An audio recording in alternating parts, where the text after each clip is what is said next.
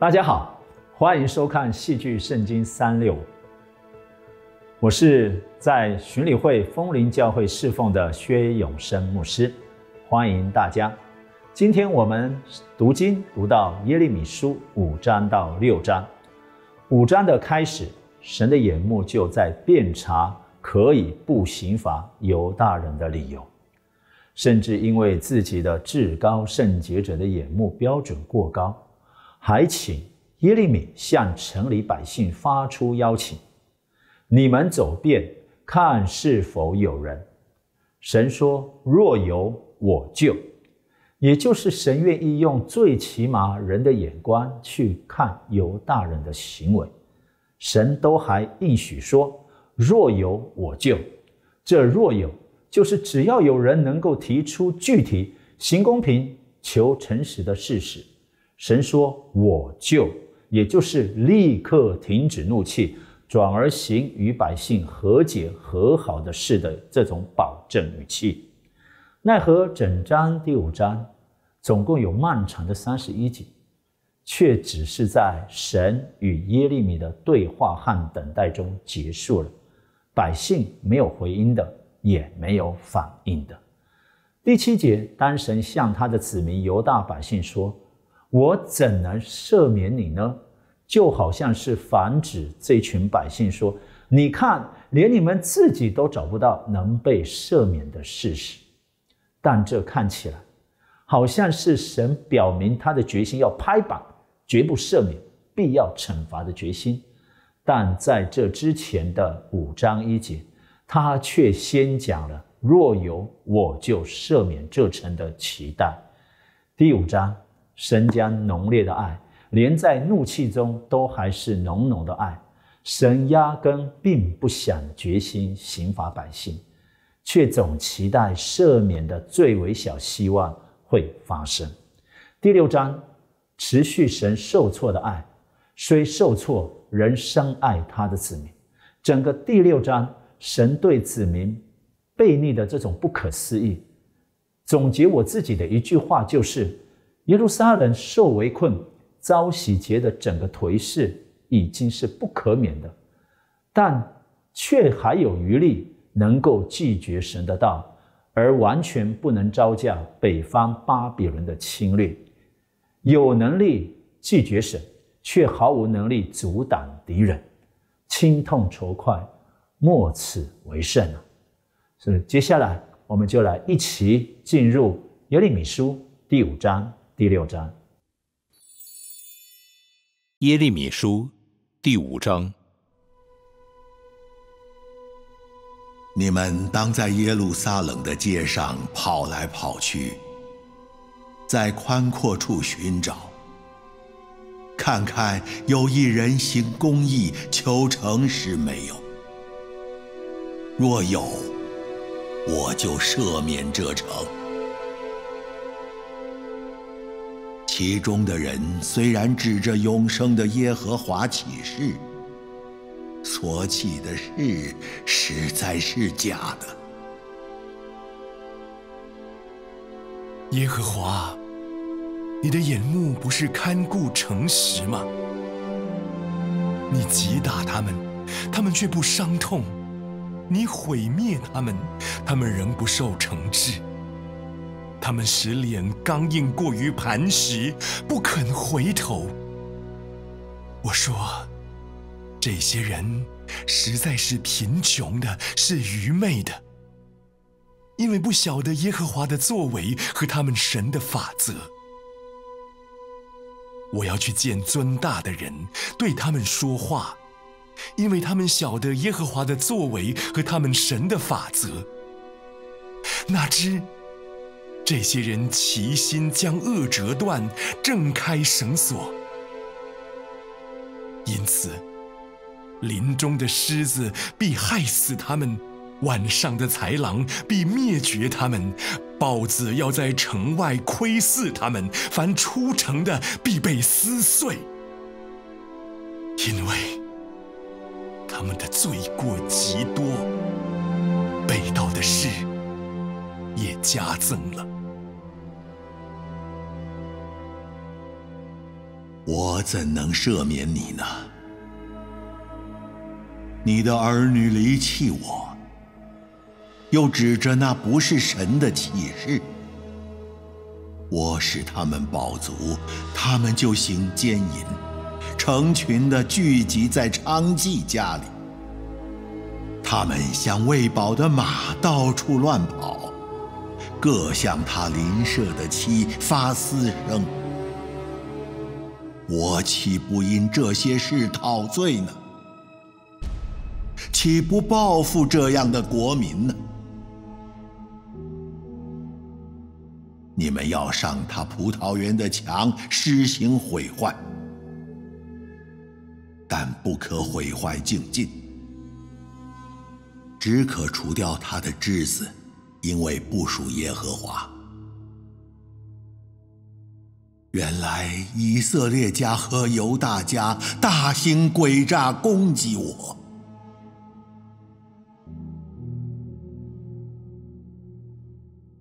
他们不认耶和华，说：“这并不是他，灾祸必不临到我们，刀剑和饥荒我们也看不见。”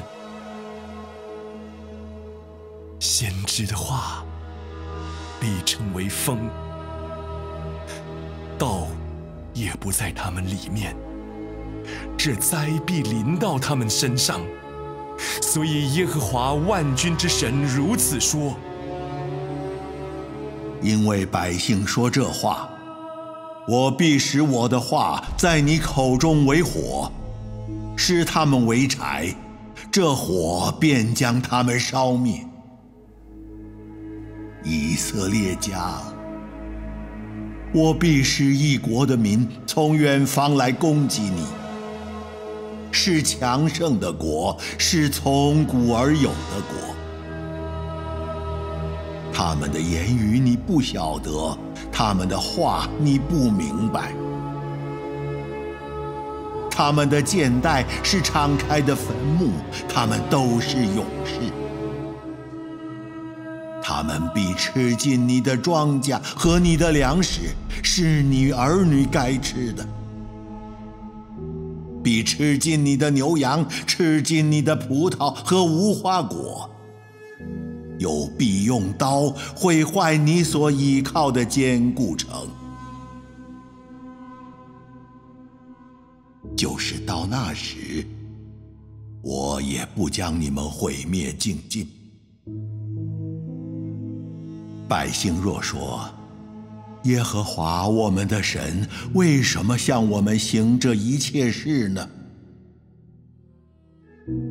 你就对他们说：“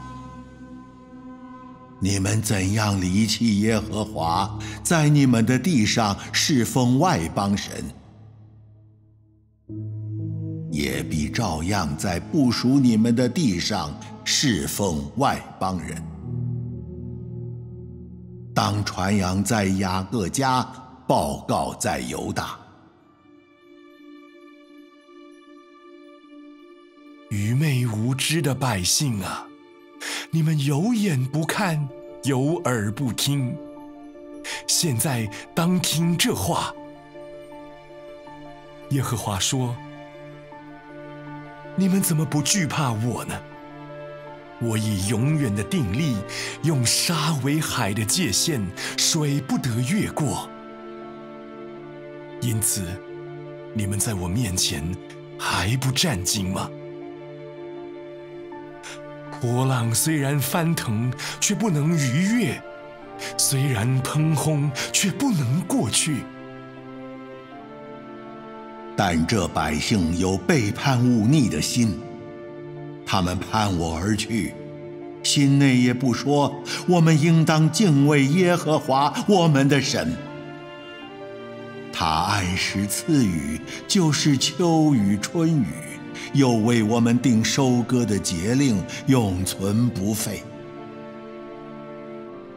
你们的罪孽使这些事转离你们，你们的罪恶使你们不能得福。因为在我民中有恶人，他们埋伏窥探，好像捕鸟的人；他们设立圈套陷害人，笼内怎样满了雀鸟，他们的房中也照样充满诡诈。所以他们得成为大，而且富足。他们肥胖光润，作恶过甚，不为人伸冤，就是不为孤儿伸冤，不使他亨通，也不为穷人辩屈。我岂不因这些事陶醉呢？岂不报复这样的国民呢？国中有可惊骇、可憎恶的事，就是先知说假预言，祭司借他们把持权柄。我的百姓也喜爱这些事，到了结局，你们怎样行呢？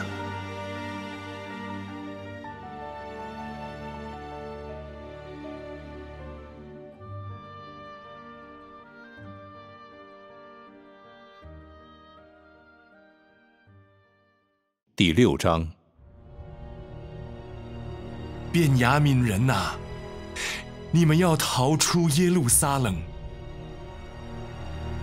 在提戈亚吹角，在伯哈基林立号旗，因为有灾祸与大毁灭从北方张望。那秀美娇嫩的西安女子，我必剪除。牧人必引他们的羊群到他那里，在他周围支搭帐篷，各在自己所占之地使羊吃草。你们要准备攻击他。起来吧，我们可以趁午时上去。哀哉，日已见斜，晚影拖长了。起来吧。我们夜间上去毁坏他的宫殿，因为万军之耶和华如此说：你们要砍伐树木，筑垒攻打耶路撒冷，这就是那该伐的城，其中尽是欺压。井怎样涌出水来，这城也照样涌出恶来。在其间，常听见有强暴毁灭的事，病患损伤也常在我面前。耶路撒冷啊，你当受教，免得我心与你生疏，免得我使你荒凉，成为无人居住之地。敌人比掳尽以色列剩下的民，如同摘尽葡萄一样。你要像摘葡萄的人摘了又摘，回手放在筐子里。现在，我可以向谁说话做见证，使他们听呢？他们的耳朵未受割礼，不能听见。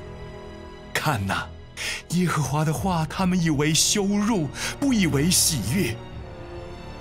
因此。我被耶和华的愤怒充满，难以含忍。我要亲在街中的孩童和聚会的少年人身上，连夫带妻，并年老与日子满足的，都必被擒拿。他们的房屋、田地和妻子，都必转归别人。我要伸手攻击这地的居民。这是耶和华说的。因为他们从最小的到至大的都一味的贪婪，从先知到祭司都行事虚华。他们轻轻呼呼的医治我百姓的损伤，说平安了，平安了。其实没有平安。他们行可憎的事，知道惭愧吗？不然。他们毫不惭愧，也不知羞耻，因此他们必在扑倒的人中扑倒。我向他们讨罪的时候，他们必致跌倒。你们当站在路上查看，访问古道，哪是善道，便行在其间。这样，你们心里必得安息。他们却说我们不行在其间。我设立守望的人照管你们，说要听脚声，他们却说我们不听。列国啊，因此你们当听；会众啊，要知道他们必遭遇的事。地呀，当听！我必使灾祸临到这百姓，就是他们意念所结的果子。因为他们不听从我的言语，至于我的训诲，他们也厌弃了。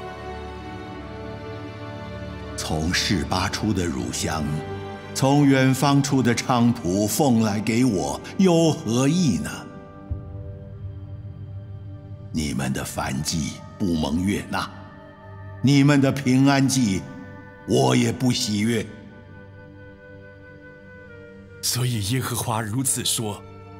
我要将绊脚石放在这百姓前面，父亲和儿子要一同叠在其上，邻舍与朋友也都灭亡。耶和华如此说：看哪，有一种民从北方而来，并有一大国被激动从地极来到，他们拿弓和枪。性情残忍，不失怜悯。他们的声音像海浪砰轰。西安城啊，他们骑马都摆队伍，如上战场的人要攻击你。我们听见他们的风声，手就发软。痛苦将我们抓住，疼痛仿佛产难的妇人。你们不要往田野去，也不要行在路上。因四围有仇敌的刀剑和惊吓，我民呐，应当腰束麻布，滚在灰中。你要悲伤，如丧独生子，痛痛哭嚎，因为灭命的要忽然临到我们。我使你在我民中为高台，为保障，使你知道试验他们的行动。他们都是极悖逆的，往来缠棒人。他们是铜，是铁，都行坏事。风香吹火，千倍烧毁。他们练而又练，终是徒然。因为恶劣的还未除掉，人必称他们为被弃的银渣。因为耶和华已经弃掉他们。